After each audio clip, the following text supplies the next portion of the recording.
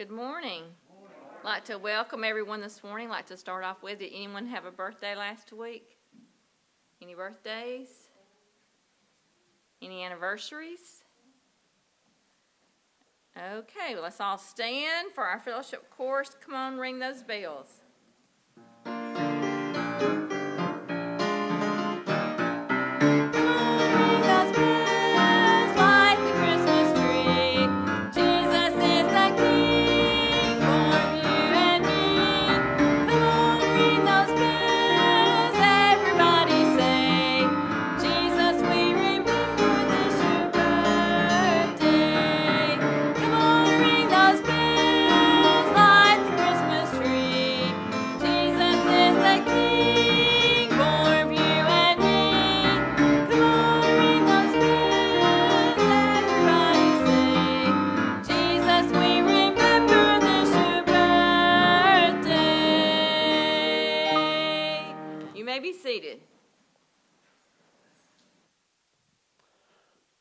Well, good morning. It's good to see you here. We are glad you have joined us for worship, whether you're in the house or online. We are so glad to be able to get back together once again this week. And Merry Christmas. Everybody's ready. You're done shopping? Now, all you men that are nodding your head, you know better than that. If you're like me, it's I tell people it's not the 23rd yet, so I'm not done. Uh, but it's good to be here. Good that we need to celebrate or get to celebrate our Lord and Savior Jesus Christ. And uh, we'll worship Him today as we share in this service before uh, last main service before Christmas. And so I want to encourage you if you notice in the seats, you'll find a little cup like that. If you'll make sure you have one of those a little bit later, we will participate in the Lord's Supper and we'll use those so we don't have to pass things. We just laid them out for you, and we'll explain those when we go through the Lord's Supper in a few minutes. This afternoon, if you're available and want to help and can, we encourage you to be here a little bit before 2. We're going to give out our blessing bags. And I want to say thank you to all those that came yesterday. In about 25 minutes, uh, a crew packed 65 blessing. Well, actually, it's 130 because it's two bags per meal. And so, and got that ready for us.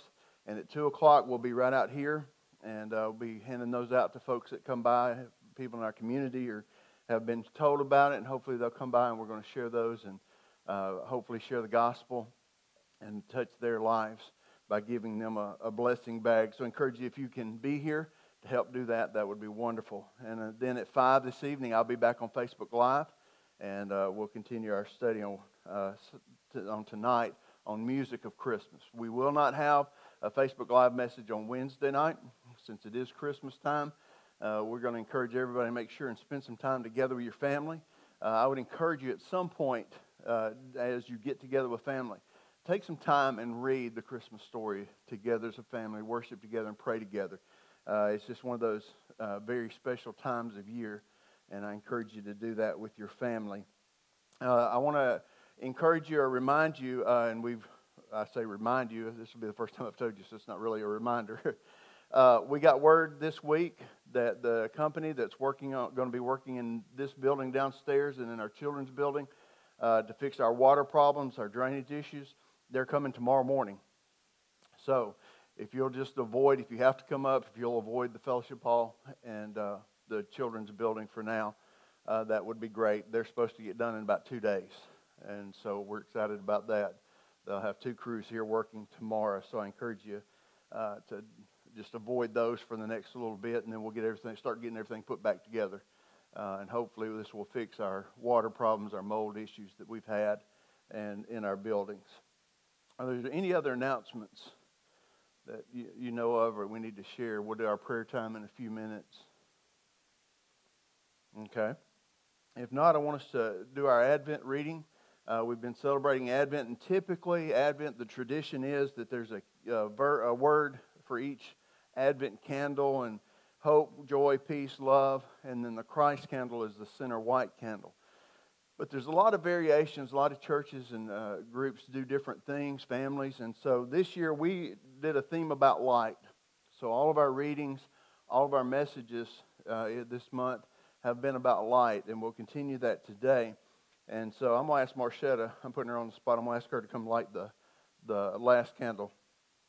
And uh, she'll light the last purple candle, and then a little bit later in our service, we'll light the Christ candle uh, as we participate in the Lord's Supper.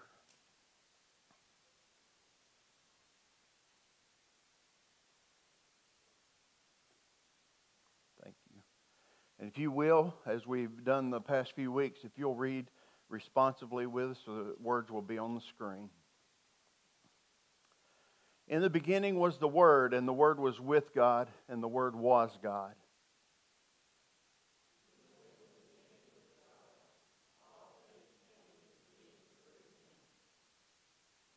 In him was life, or was life, and the life was the light of all people.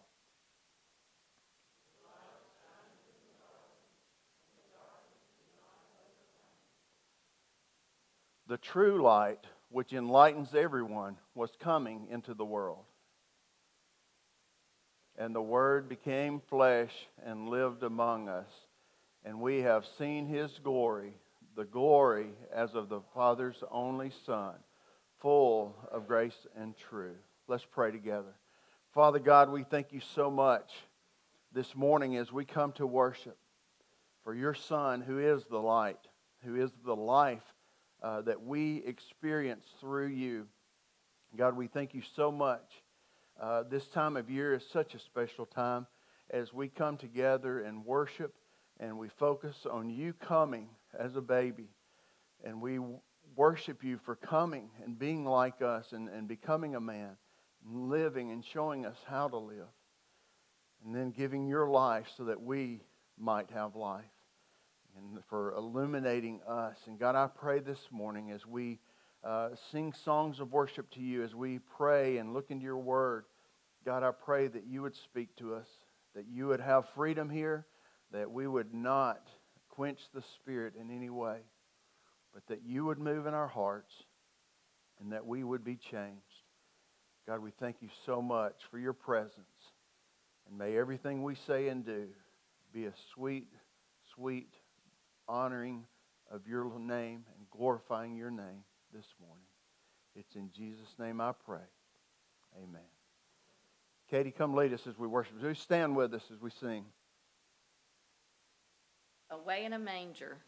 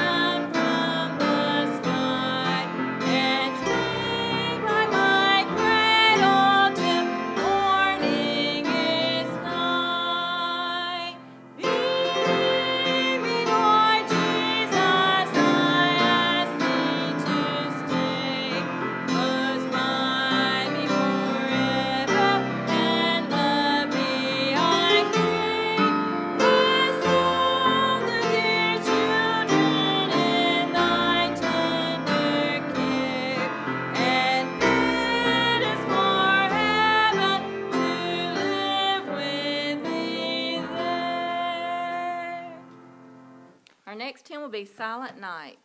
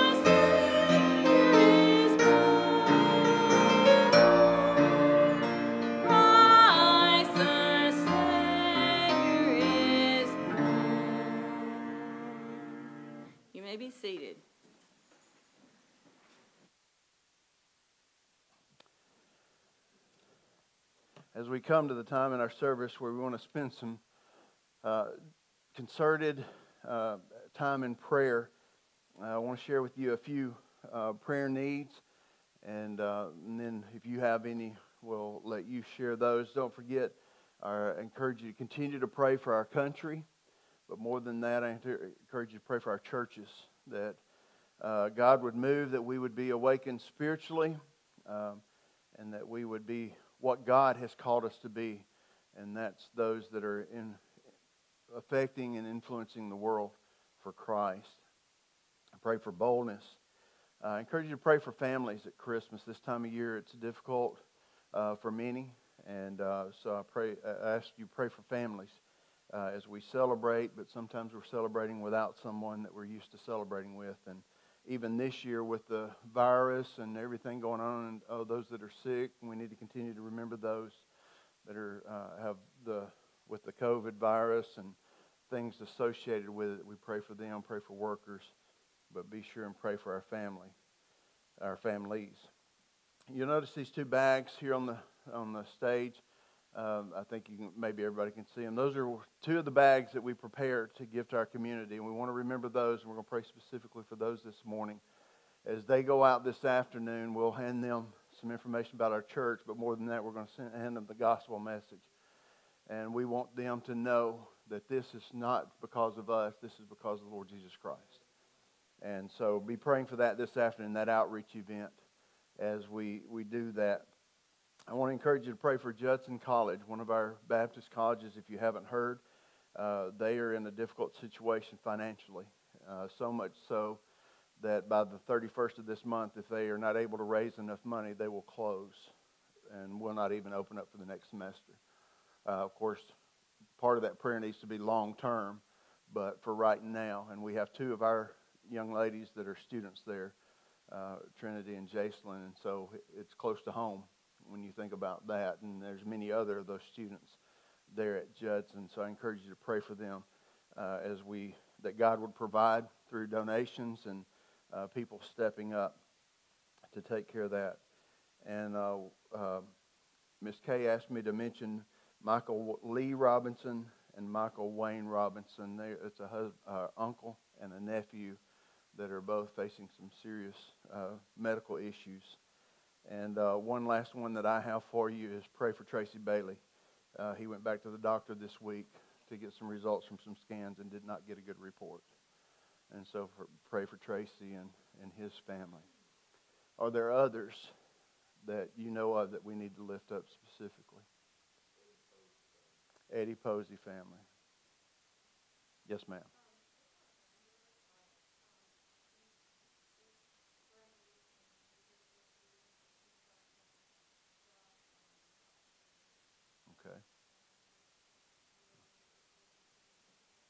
All right, pray for Bob and Claire's granddaughter Bryce as she makes decisions about jobs and finishing as she's finished up school. Annette Morris family.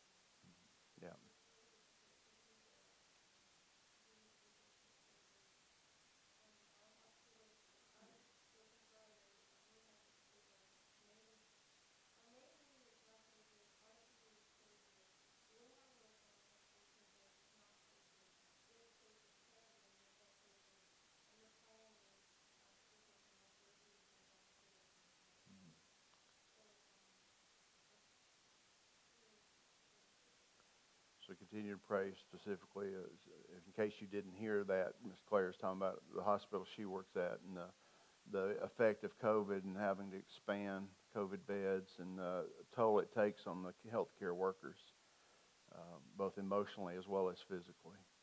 So be praying for them. Uh, say that again. All right, so. All right, somebody's got a truck on fire down at Landmark, so be praying for that. Whatever's going on there, pray for those firefighters. Any others? Yes, sir.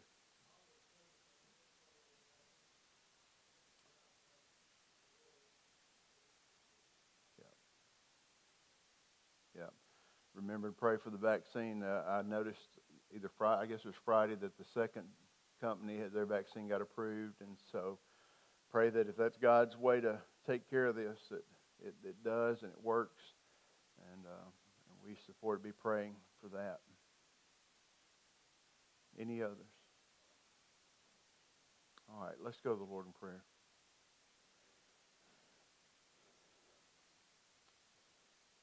Lord and Father, we come to you this morning bowing before you, opening our hearts to you and uh, sharing things that are on our hearts, things that are happening in the lives of many people that we know, and some of them are family and friends, and uh, people that have lost, lost somebody close to them, uh, people that are sick. We think about our healthcare workers and the whole pandemic, the virus, and everything. God, it just seems uh, seems to be just really crazy right now, God, and so many things we don't understand. But God, we know that you do. God, we lift all of these to you that you would heal, and if it's the vaccine that heals uh, from this virus, then Lord, I pray that that would happen. And I pray that it, uh, others that are healed through uh, just your divine hand or through doctors and nurses and medications, whatever it takes. God, for those that have lost someone close to them, and especially at this time of year, Lord, we know it's difficult. We pray for comfort. We pray for peace, the, only, the peace that only you can give. That we would look to you and that we'd point others to you. God, this afternoon as we hand out these blessing bags, God, I pray that you would go before them and prepare hearts to receive uh, a blessing from you and uh, receive a word from you. And God, I pray that you would use this to touch somebody's life, to change their heart, and to draw them to you. God, I just pray that uh, you continue to lead and guide us even through uh, unusual, difficult times, that we would be the church, Lord, uh, that we would rise up, that uh, the church in general, overall, your body of believers, would live lives and speak the words that we could point to you because we know in the end you are the only answer. You are the light that will uh, shine on all who will receive you. God, we thank you again for this time we can be together. God, I pray that you just continue to move in our hearts this morning. It's in Jesus' name I pray. Amen.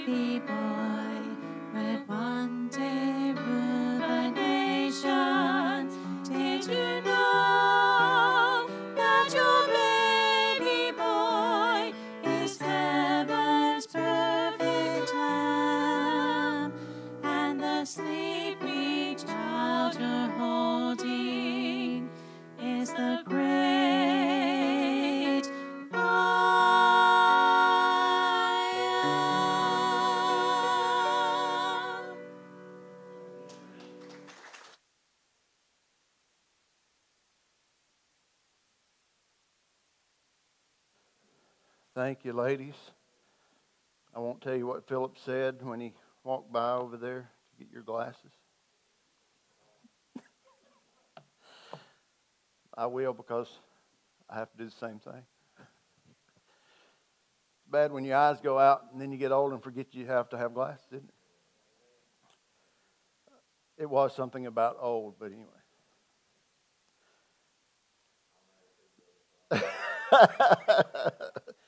I tell you what, it is good to, to be in God's house. Uh, it's a blessing. Thank you for that song. It's one of those special songs. Mark Lowry wrote the words to that. He said, Buddy Green wrote the music. He said, uh, if you can't read music, ought not write it. And, but amazing song that God gave him uh, about Mary. And did she know uh, what was happening and what was going on and who it was? And um, I talked about that Wednesday night, that it's uh, interesting to think about what her and Joseph went through as they prepared for the coming of the Messiah because they had a very unique place in history in doing that. Uh, this morning, we're going to continue. We've talked about our Advent this month, and uh, if you look on the Lord's Supper table there in front of you, you'll notice that we've got our Advent candles, and, and uh, they're all lit except for the Christ candle, which we are going to light today just before we participate in the Lord's Supper. If you'll notice the, on the far right hand side, you'll see our Lord's Supper tray that we normally use that holds the cup and the fruit, uh, the juice that we use. And um, in the center, you see the nativity. Uh, I love nativities. Uh, I think my sister still has one that my grandmother had that's been more glue than it is plastic now, I think. But I remember that little nativity that my grandmother would have sitting out every Christmas. And uh, we have one too that we have sitting on our table at home as we remember the birth of Christ and those that came to the, to the manger and came to visit him. But then I want to call your attention also on the front of the pulpit, the cross.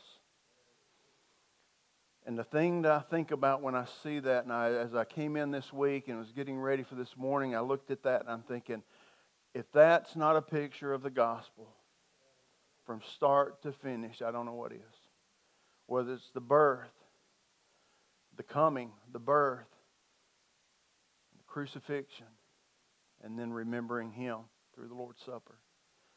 Um, We've been talking about the light of Christmas and, and, going through a series of four messages. We started out with the first light and talked about the, the creation of light and how God Himself, and as the scripture we'll read today, talks about Jesus, the Word was there at creation and He was part of creating.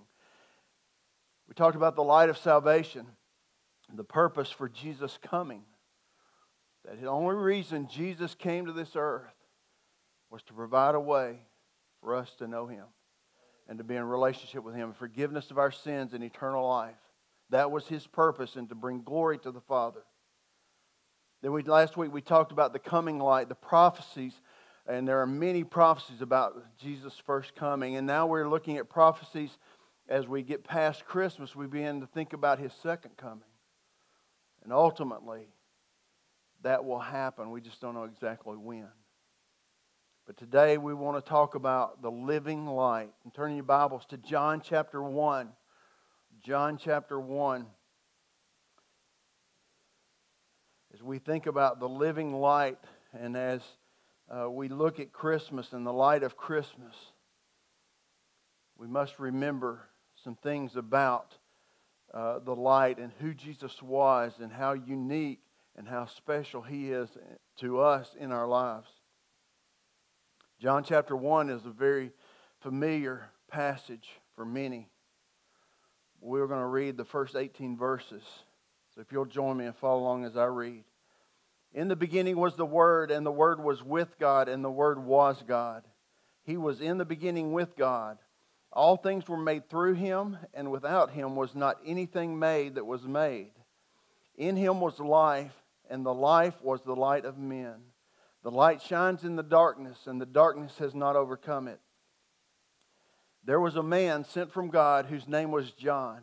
He came as a witness to bear witness about the light, that all might believe through him. He was not the light, but came to bear witness about the light. The true light, which gives light to everyone, was coming into the world. He was in the world, and the world was made through him, yet the world did not know him. He came to his own, and his own people did not receive him. But to all who did receive him, who believed in him, he gave them the right to become children of God who were born not of blood, nor of the will of the flesh, nor of the will of man, but of God. And the Word became flesh and dwelt among us, and we have seen his glory, glory as of the only Son from the Father, full of grace and truth. John bore witness about him and cried out, This it was he of whom I said, He who comes after me ranks before me, because he was before me. For from the, his fullness we have all received grace upon grace. For the law was given through Moses, grace and truth came through Jesus Christ. No one has ever seen God, the only God who is at the Father's side. He has made him known. When we think about the light of Christmas, we understand and know that the light is Jesus Christ we know that, and, and looking at verses 1 through 3, that he was the first light. He was the light of creation. He created it all. We were talking this morning and thinking about the human body and how it works and what happens. And we are trying, and, and Roddy, we were talking about Roddy and his uh, issues with diabetes and whatever we try to create things that operate like the human body, that work to help the human body. But we can't create anything that works anywhere close to the intricacies and the uniqueness of the human body. Yet Jesus Christ is part of that creation. It tells us in verses 1 through 3 He was the creator, He gave us light verses 4 and 5 talks about the life and light that the Lord is the light of salvation.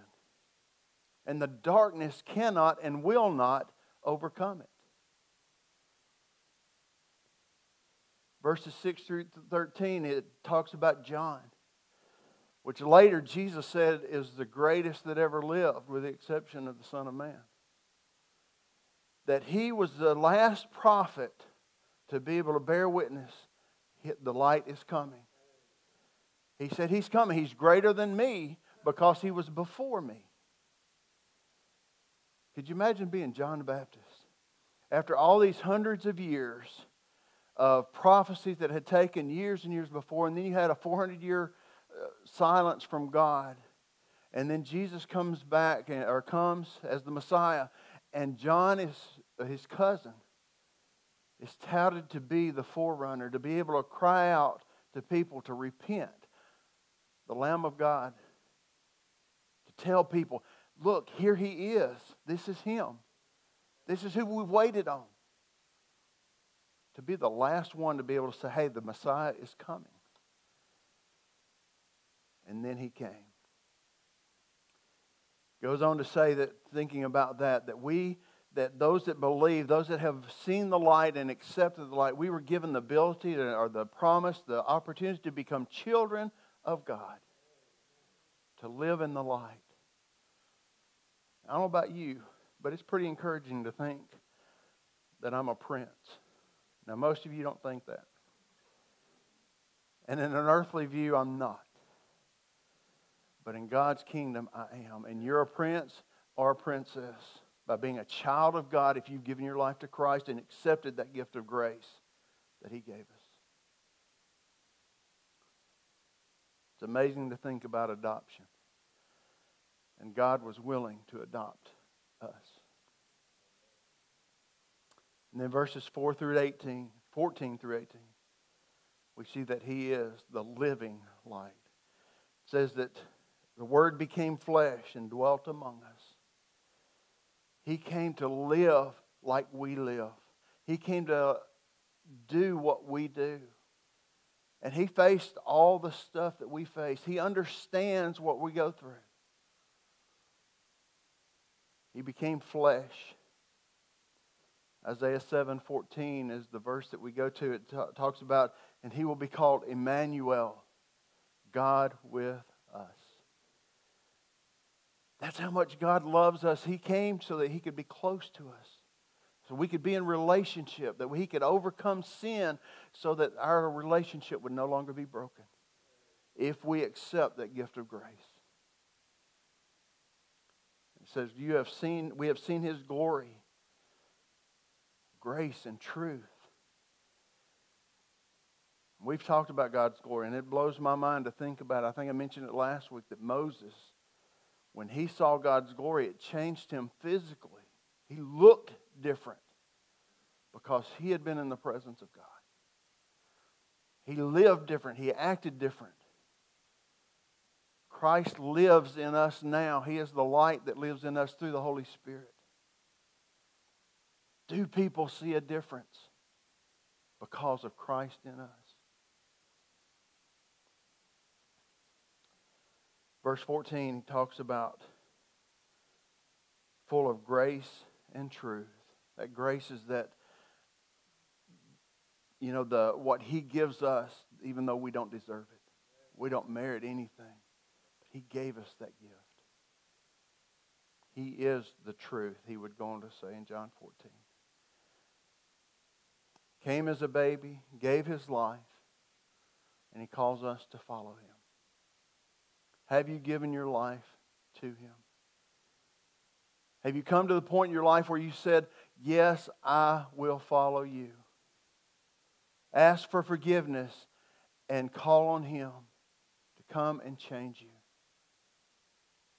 I pray that you've done that. I want to take a minute before we go into observing the Lord's Supper for us to just consider the living light, Jesus. Do you know Him? you can give your life to Him right now. Would you bow your heads and close your eyes for just a moment?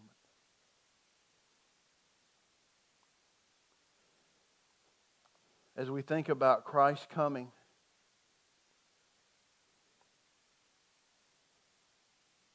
came as a child, lived his life, did his ministry, showed us how to live.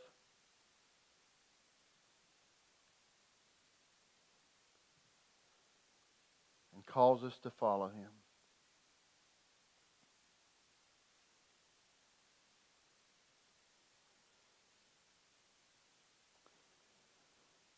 Father, we thank you that you've come to live in us.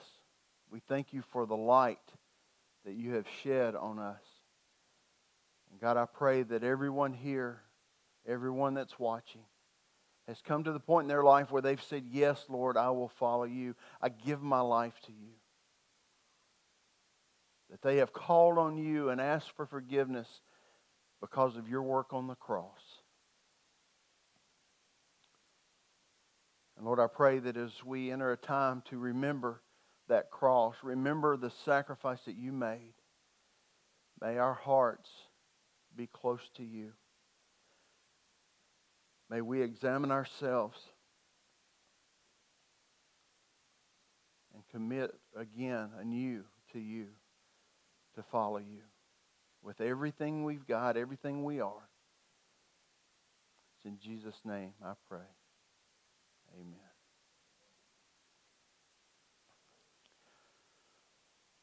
For those of you here, Roddy's going to be coming around. He's got some hand sanitizer if you would prefer to use that. And uh, before we partake of the Lord's Supper. But as we do, as he's doing that, in 1 Corinthians chapter 11, let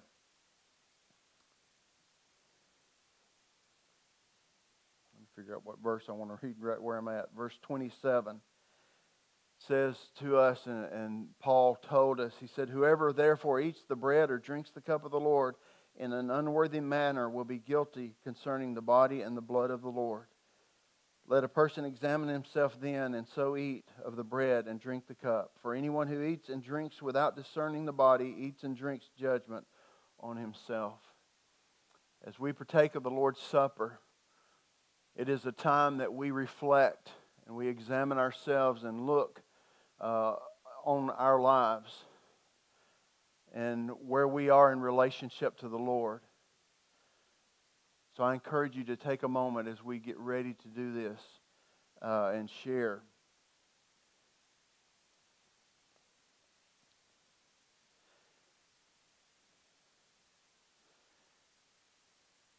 In Luke chapter 22 is where we see uh, the Passover. Beginning in verse 14. Lord, it says, And when the hour came, he reclined at the table, and the apostles with him, and he said to them, I have earnestly desired to eat the Passover with you before I suffer. For I tell you, I will not eat it until it is fulfilled in the kingdom of God. And he took the cup, and then when he had given thanks, he said, Take this and divide it among yourselves. For I tell you that from now on I will not drink of the fruit of the vine until the kingdom comes. And when he took the bread and when he had given thanks, he broke it and gave it to them, saying, This is my body which is given for you. Do this in remembrance of me. And likewise the cup after they had eaten, saying, This cup is, that is poured out for you is the new covenant in my blood. Behold, but behold, the hand of him who betrays me is at, with me at the table. Jesus instituted the Lord's Supper at the Passover. And he took the bread and the cup that they participated, that they used as part of their meal. And just so you know, make sure the top there's a little clear piece of cellophane on the top of the cup that you have with you. If you'll take the bread, and let's pray.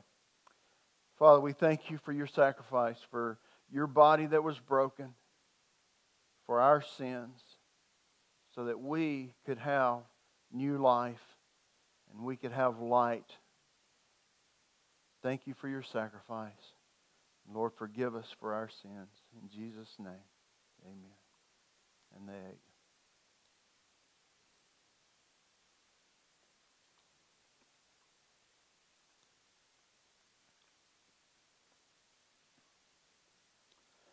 And then it says that he took the cup. And if you'll notice on your cup, there's another piece of cellophane to pull back. He said, This is the new covenant in my blood that is shed for you.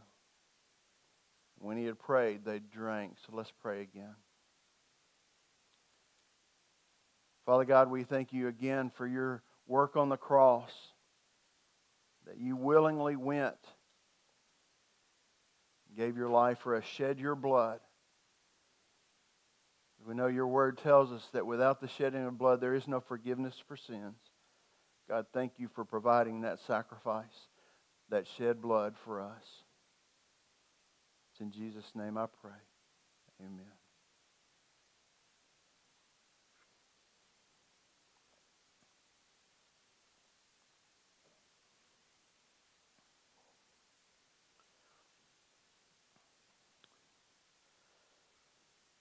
1 Corinthians 11 26, it says, For as often as you eat this bread and drink the cup, you proclaim the Lord's death till he comes. We're at a time in uh, our celebration of Advent that we look to the birth of Jesus Christ. But even as I light the Christ candle this morning,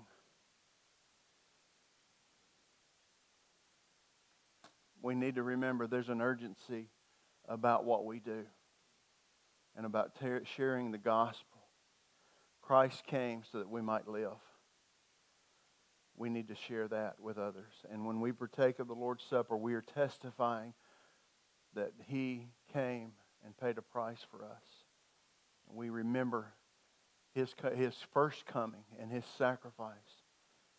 And we need to share with others that He's coming back.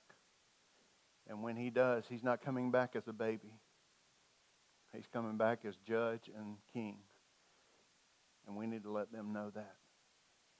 I encourage you to be faithful to share the gospel with folks and remember his sacrifice. Let me pray for us again and then we'll read our benediction. God, thank you so much again for coming today, for uh, letting us come today and to meet with you.